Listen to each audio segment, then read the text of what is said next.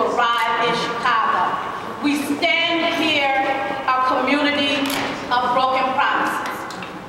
The city of Chicago has not honored their promise. Mayor Daley has not honored his promise. They told us that we would have our concerns heard and that we would have a legally binding document to prove it. We don't have it.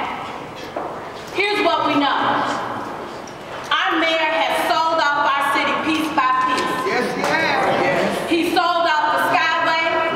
He tore up Midway in the middle of the night. He sold the parking meters, and we know what a debacle that is. Now is he going to sell out the people of Chicago in the communities where the venues are to be held? We say no.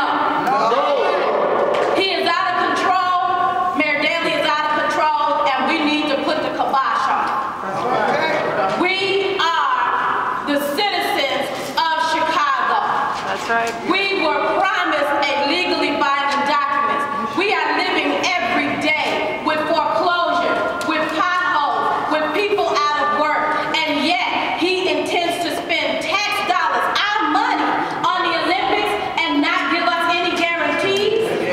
That's right. We say no.